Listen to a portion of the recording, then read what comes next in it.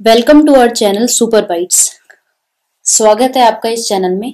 English, आज हम discuss करेंगे इंग्लिश ग्रामर के टॉपिक टेंस के बारे में। आज का हमारा टॉपिक है टेंस टेंस जो कि बहुत ही इंपॉर्टेंट टॉपिक है एग्ज़ाम्स में, जितने भी कॉम्पिटिटिव एग्ज़ाम्स हो, और एक बच्चों को स्कूल टाइम पे भी बहुत ही डराने वाला टॉपिक भी है।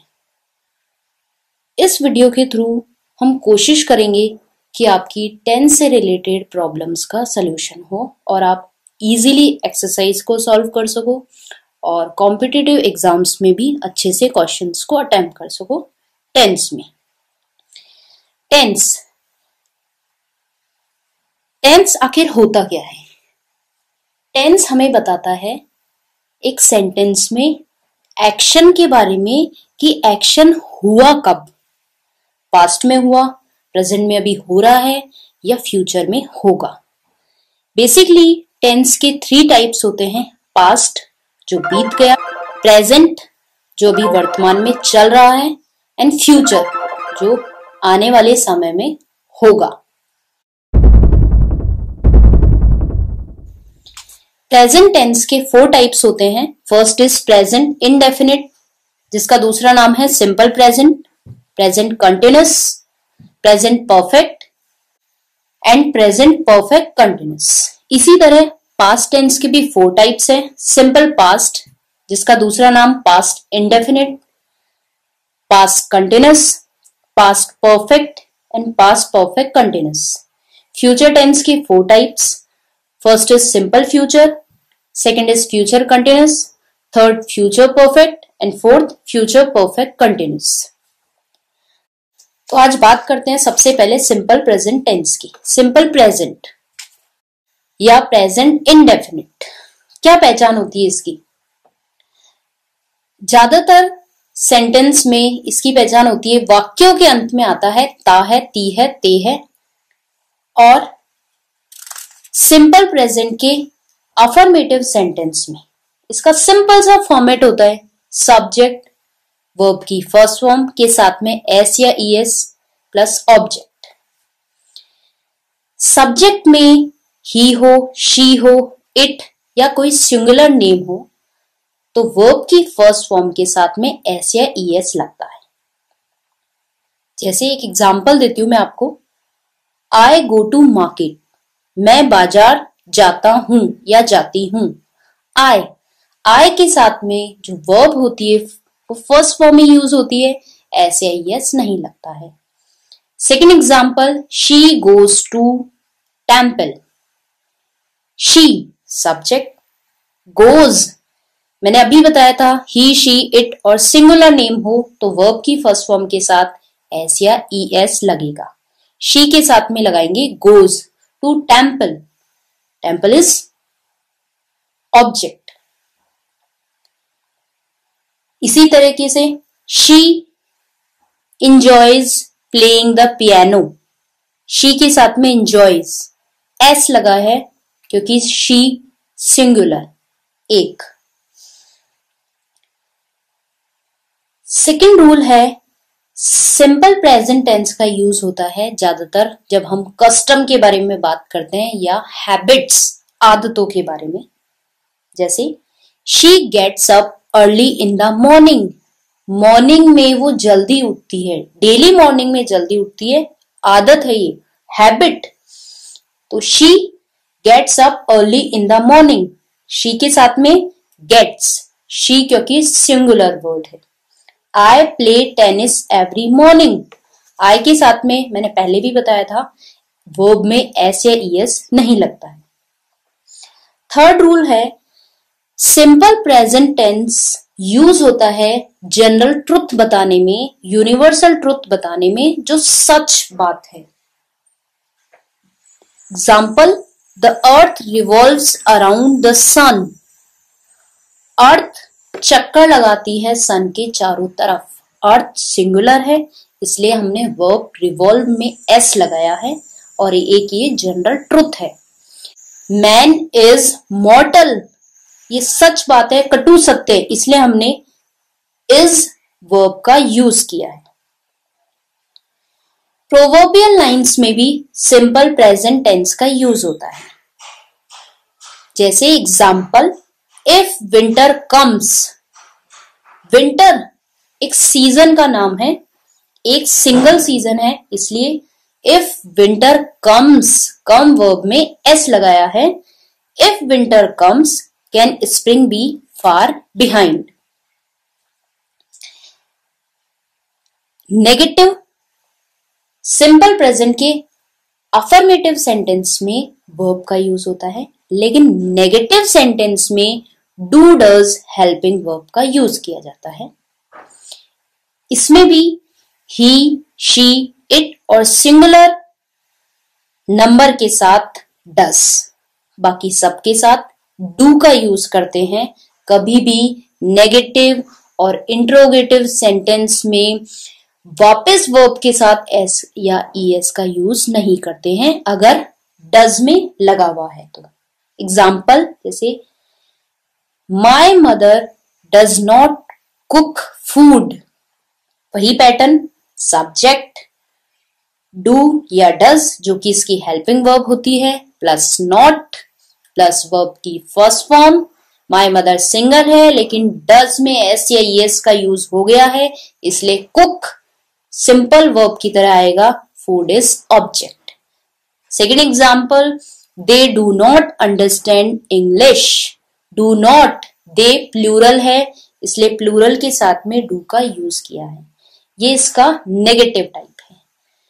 थर्ड टाइप होता है इंट्रोगेटिव मीन्स क्वेश्चन आप क्वेश्चन पूछ रहे हो. You are asking a question to someone तो फॉर्मेट होता है, सबसे पहले हेल्पिंग वर्ब आती है. डू या does plus subject plus main verb plus object plus plus other words example do they worship God do helping verb सबसे पहले. दे डू इसलिए यूज़ किया बिकॉज़ दे प्लूरल सब्जेक्ट है। मेन वर्ब वर्शिप ऐसे yes they है क्योंकि God object do they worship God second example है do they understand English do helping verb they subject understand main verb verb की first form and English is object अब बात करते हैं second tense present continuous tense. ज़्यादातर इसकी पहचान होती है जो काम अभी वर्तमान में, जो एक्शन अभी प्रेजेंट में चल रहा है। इसीलिए इनके सेंटेंस में ज़्यादातर वाक्य के अंत में रहा है, रही है, रहे हैं, आता है। इसका जो फॉर्मेट होता है सब्जेक्ट पहले। हेल्पिंग वर्ब यूज़ होती है, वो होती है इज़ एम आर वर्ब की first form plus ING plus object plus other words जैसे एग्ज़ाम्पल है the girls are singing and dancing the girls subject are helping verb singing sing verb की first form I ING and dancing same verb the girls are are इसीलिए use किया है. Is word is helping verb का use होता है singular subject के साथ. Am का यूज़ होता है आई के साथ. आर का यूज़ होता है प्लूरल सब्जेक्ट्स के साथ में.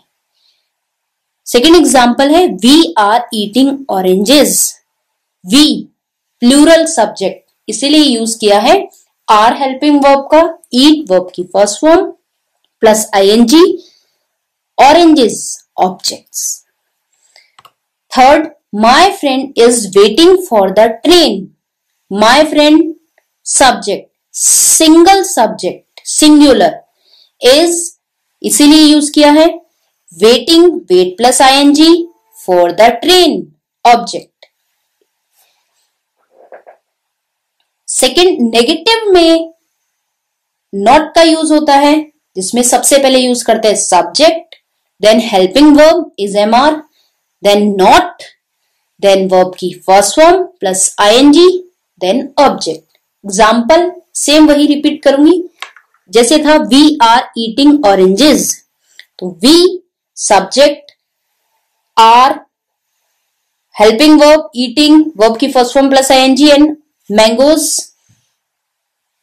object we are then not we are not eating mangoes we subject are helping verb not लगा दिए नेगेटिव के लिए eating plus object mangoes second we are not playing hockey we subject are helping verb not negative के लिए playing hockey we है plural subject है, इसीलिए हमने हेल्पिंग वर्ब आर का यूज़ किया है। इज़ हमेशा सिंगुलर सब्जेक्ट के साथ में यूज़ होता है और आई एम के साथ में। इंट्रोगेटिव में डब्ल्यू एच वर्ड से अगर शुरू होता है तो what where what are you doing like लेकिन अगर हेल्पिंग वर्ब से शुरू होता है तो सबसे पहले प्रेजेंट कंटिन्यूस टेंस की हेल्पिंग वर्ब लगाते हैं is am are plus subject plus verb की first form plus I plus object plus extra other words example first है are you going to Jaipur are are you you plural second person इसलिए are लगाया है you के according are helping verb you subject going go plus I N G to Jaipur object are we eating mangoes are again plural we के साथ में are we eating mangoes are helping verb we subject eating main verb mangoes object are we playing hockey इस तरीके से present continuous tense को आप दोबारा detail में पढ़ सकते हैं। Then third present perfect tense ये टेंस हमें बताता है कि कोई एक्शन कोई काम अभी अभी समाप्त हो चुका है। मींस कंप्लीट हो चुका है। इसलिए ज़्यादातर इस टेंस के वाक्यों में चुका है, चुकी है, चुके आता है। मैं अपना काम खत्म कर चुका हूँ। I have completed my work इसका फॉर्मेट होता है सब्जेक्ट इसकी हेल्पिंग वर्ब होती है प्लस हैज़ हैव के साथ में आती है वर्ब की third form plus object has use होता है सिंगुलर के साथ में and have helping verb use होती है प्लूरल सब्जेक्ट्स के साथ में. आई के साथ में हमेशा यूज़ होता है have example the girls have learn their lessons means girls अपने लेसन्स को कंप्लीट कर चुकी है, याद कर चुकी है। इसलिए the girls subject have plural थी गर्ल्स बहुत सारी थी learn their lessons I have lost my book मैं अपनी बुक खो चुका हूँ, मैंने अपनी बुक खो दी है।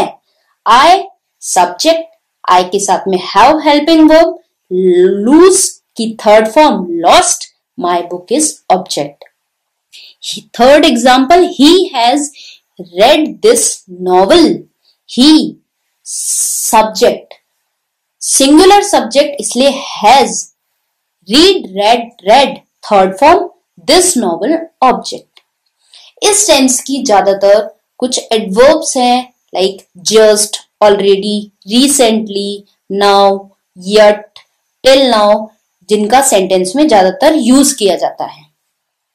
अगर इसी टेंस का नेगेटिव बनाना है तो हम यूज़ करेंगे सबसे पहले सब्जेक्ट देन हैज़ हैव जो इसकी हेल्पिंग वर्ब है प्रेजेंट परफेक्ट टेंस की देन नॉट देन वर्ब की third form then object then other rest words example the girls have not the girls subject then have verb helping verb then not negative verb learnt verb की third form their lesson second i have not lost my book i have then negative word not lost my book. He has not read this novel. He subject has then negative word not read this novel. इसी तरीके से इसका interrogative बनाने हैं तो सबसे पहले helping verb use करेंगे। क्वेश्चन के लिए तो हेल्पिंग वर्ब है प्रेजेंट परफेक्ट टेंस की has have then subject then verb की third form then object like first example has a train repeat has the train arrived has helping verb the train object arrived has he read this novel has helping verb.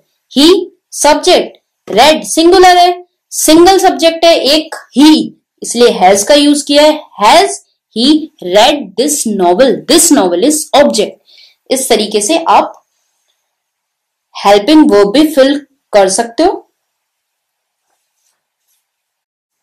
Fourth type है present perfect continuous tense इस tense में ज़्यादातर समय के साथ वाक्य के अंत में रहा है, रही है रही है आता है। पास्ट में कोई वर्क है जो चल रहा है और एट दिस टाइम भी उसका असर प्रेजेंट पर है। वर्तमान में वो अभी चल रहा है, लेकिन समय के साथ। टाइम यूज़ होता है, जिसके लिए वर्ड्स यूज़ में आते हैं सिंस और फॉर प्लस हेल्पिंग वर्ब होती है हैज़ हैव इसी के साथ में यूज़ होता है plus been B E E N plus verb की first form plus I N G then object then since और फोर देन टाइम एग्ज़ाम्पल है like the child has been sleeping for two hours past से सो रहा है और अभी तक सो रहा है. इफ़ेक्ट है अभी भी. द चाइल्ड सब्जेक्ट हैज़ एक ही बच्चा है, इसलिए सिंगुलर है। हैज़ बीन स्लीपिंग वर्ब की first form plus I N G for two hours since और फोर का यूज़ होता है। सिंस जो बताता है पॉइंट ऑफ़ टाइम जब हो, तब सिंस का यूज़ करते हैं। और पीरियड ऑफ़ टाइम हो ड्यूरेशन हो two days two hours two months तो फोर का यूज़ करते हैं। Right it has been raining since Monday Monday point of time Monday से बारिश हो रही है। It singular has been verb की first form plus I N G since and Monday negative अगर बनाना हो इसी टेंस का then subject has helping verb जिसे ऑक्सिलरी वर्ब भी बोलते हैं हैज़ और have plus not plus been then verb की first form, then ing, then object, then since for. Like she has not been teaching in this school for three years. She subject has singular है has verb has helping verb का use किया है not for negative been verb की first form plus ing teaching and this is school object for three years which three years duration तीन साल period of time के लिए use करते हैं फोर इसी तरीके से इस टेंस का अगर इंट्रोगेटिव क्वेश्चन बनाना हो इंट्रोगेटिव बनाना हो then has have first we will use helping verb has have then subject then been then verb की first form plus I N G then object then since और for then time like example has it been raining for two days has helping verb.